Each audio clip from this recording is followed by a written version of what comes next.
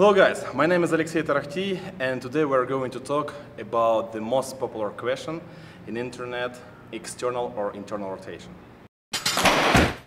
Let's imagine that we have, a, when uh, we catch the bar, when we receive the bar in a deep squat position, we have uh, six risk points.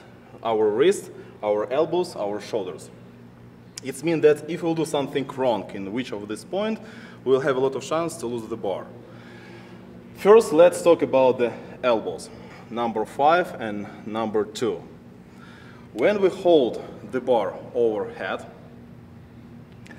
when this part of our elbows look up, we have a lot of chance to bend them, especially when we lift 90 and more percent. Of course, when we lift just 50%, we have a lot of power, enough power in our muscle to hold this and to stabilize. But when it's 90 and more, it's a lot of chance to bend them. When we move our chest forward, pay attention to what's happening with my elbows. They naturally rotate forward. For someone it will be straight forward, for someone it will be just 45 degrees forward, but they naturally rotate forward. I don't do just rotation in this position.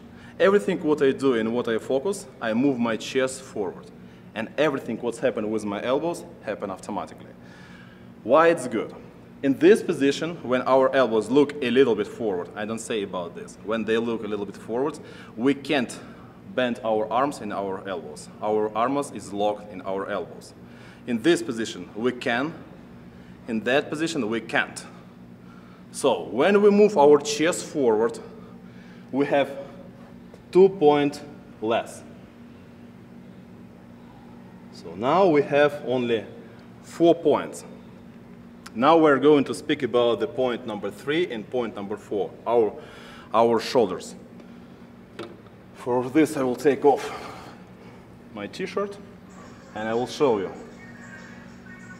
When we hold the bar overhead, when this part of the elbows look up, our shoulders are independent.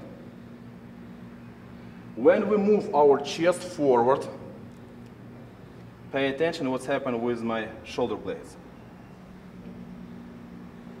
In this position, it's, they are independent.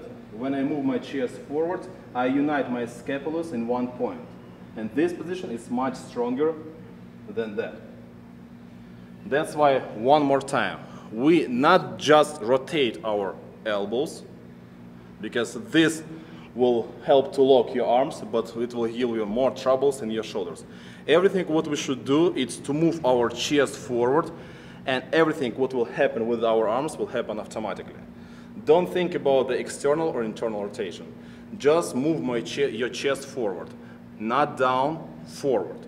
And finish with the movement of your shoulders to your ears. Why we do this? Because when you lift 50%, it's okay because you have a lot of enough power to hold it.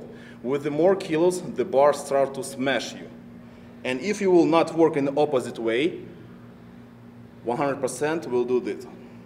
That's why some coaches call this reach up, grow up. For this, we should move our shoulders to our ears. With the 50%, it looks more. With the 100%, it looks less. On my Instagram, I post a lot of weightlifting tips and drills. Subscribe with the link below to be on the same page. Good luck.